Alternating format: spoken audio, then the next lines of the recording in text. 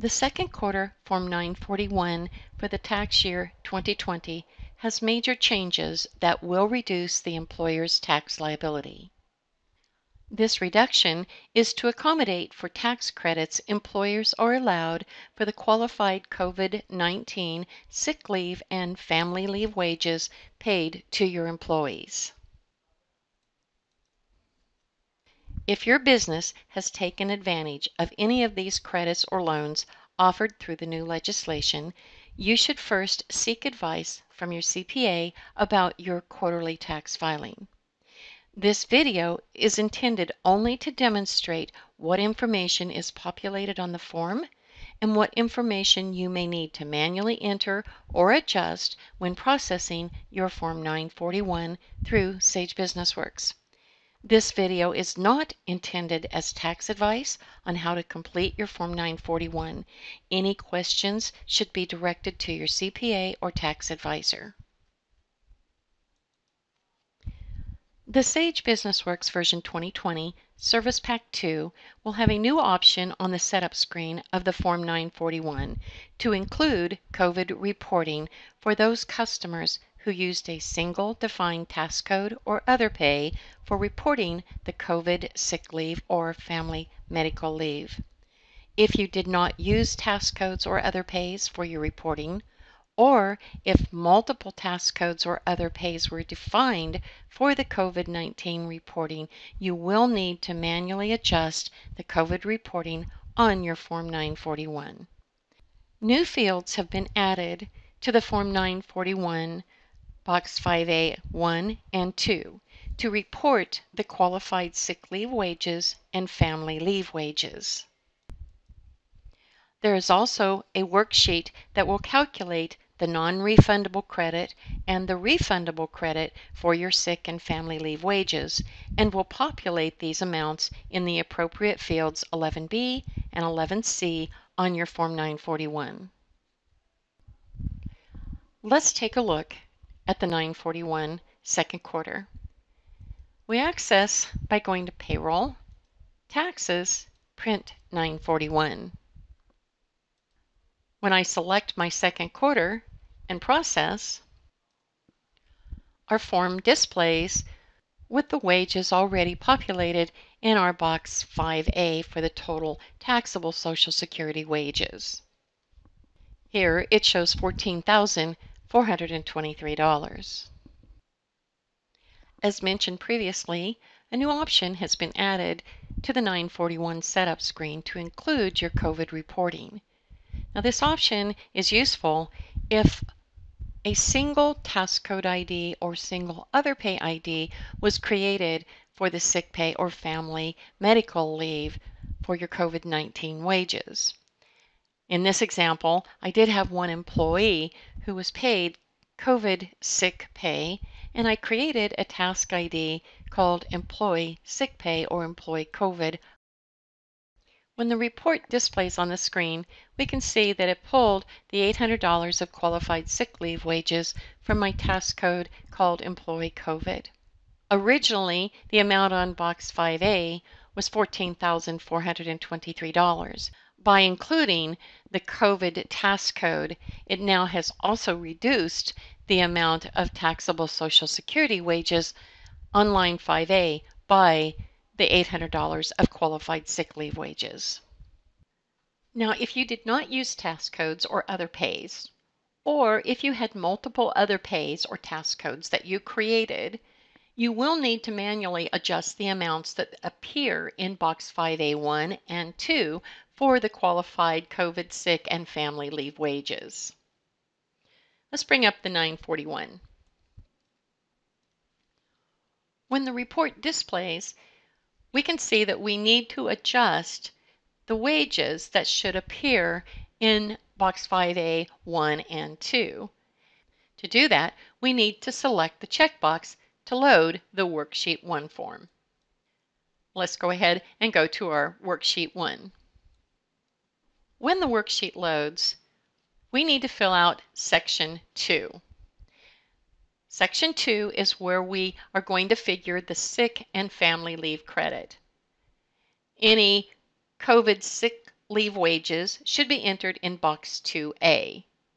For my company, we had $800. When entered, the worksheet is going to calculate the employer portion of Medicare tax and enter that on line 2C. So we can now see that I have an $811.60 tax credit. Any health insurance expenses that should be allocated to the qualified sick leave wages should be entered in box 2B. For my company, I had $50. The amount of qualified family leave wages should be entered in box 2E. For my company, I did not have any family leave wages reported, so I leave that at zero. If you did have any qualified family leave wages and you had any health insurance expenses that were associated with that, those expenses would be entered in box 2F. I have finished entering my numbers and I'm ready to go back to my page one of the report. So I can now see that the $800 has been populated into box 5A1 from the information I entered in the worksheet. The next step I need to take is I need to reduce the total taxable uh, Social Security wages on box 5A by any amounts that are in 5A1 and 2. For my company, that's $800. So we need to take the $14,423 and subtract the $800. So let's do that now. So my amount should be reduced to $13,623. Next, we need to select the type of depositor. We're going to go to my page two. Page two, part two, is where we select the type of depositor our company is. For me and my company, we are a semi-weekly scheduled depositor. So I'm going to check that. Once I check that, that indicates to me that I have to also submit a 941 Schedule B. So I say OK. Now, the Schedule B is going to pull the full liability that was calculated in BusinessWorks. So when you calculated your time cards and posted the payroll, Whatever liability was calculated is exactly what's going to appear on this Schedule B. Now, it may be reduced by the employer's portion of Social Security that you may have zeroed out during your uh, manual payroll calculation. But basically, this is the full liability that shows on your uh, tax liability screen in BusinessWorks. For my company, the total liability is 3000 12802. Let's see how this compares to the adjusted tax liability after it's been reduced by my uh, COVID sick and family leave credits. Now what's happened is our box 7, which is the current quarter's adjustment for fractions of cents, is $844.65. So remember, the box 7 amount is the difference between what your actual liability is and what was calculated liability. We know there's going to be a difference because we have our qualified uh, sick and family leave wages and credits that are associated with that. In order to make this balance, we have to go to our Schedule B and get our Schedule B reduced by this amount, the 844.65. So let's go to the Schedule B now. That's on page 5.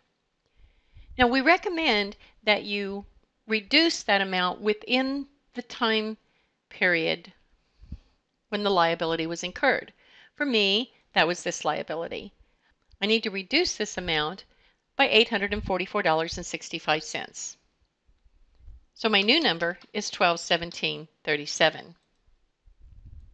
If I now go back to the first page, scroll down, we can now see that my total tax liability is the $3,128, which would be correct, and the current quarter adjustment in box 7 has now been zeroed out. Let's now go to page 2. Page 2 has now calculated the total taxes. It has brought in exactly the dollar amount that I paid uh, in tax deposits in, to the uh, Internal Revenue Service. For me, I paid the full amount of $3,128.02. However, after my qualified credit, all the adjustments, my tax liability was only $2,283.37. In box 15, I have an overpayment of $861.62. This represents the tax credit for my COVID wages, my employer credit for Social Security wages and employer portion of Medicare, as well as any health insurance that pertains to these COVID wages. Let's quickly review how we can reconcile that the overpayment calculated correctly. The way to do that is to first take the full liability and calculate it as though there was no COVID wages or tax credit. For my company, we had $14,423 in Social Security wages before any COVID wages were reduced. The Social Security portion for both employer and employee was $1,788.45. And same with the Medicare wages before any qualified COVID wages or tax credits, $14,423 in wages. And the Medicare employee and employer portion is 418.27. Looking over at our 941 on line 3, the amount of federal income tax withheld is $970.88. Now if I add these three together, my full liability for the quarter is $3,177.60. So this was my liability before any COVID wages or tax credit applied. Now I have a COVID credit. For my company, I had $800 in COVID wages. The employer portion, or the 6.2%, is $49.60. I'm also entitled to the employer portion of Medicare, or the 0.145, which is $11.60. I also had the portion of health insurance that was paid of $50. When I total that, that's $911.20. My reduced liability is going to be the $3,177.60 of full liability less my tax credit of $911.20. My reduced adjusted liability is now $2,266.40. Looking at page 2 of my 941 on line 13A, I can see that I deposited and paid to the Internal Revenue Service 3128.02. So when I take my reduced liability of 2266.40 and subtract what I've already paid into the Internal Revenue Service, I've overpaid by 861.62. As a recap, if a single task code or other pay was used for your COVID sick or family leave wages, you can use the new option to include COVID reporting on the 941 setup screen. These amounts will then populate in boxes 5A1 or 2, and it will reduce the amount of taxable wages in box 5A by these amounts. If no task codes or other pays were used, or if multiple task codes or other pays were used, you will need to manually enter the amounts in boxes 5A1 and 5A2 and manually reduce the amount of wages in box 5A by these amounts.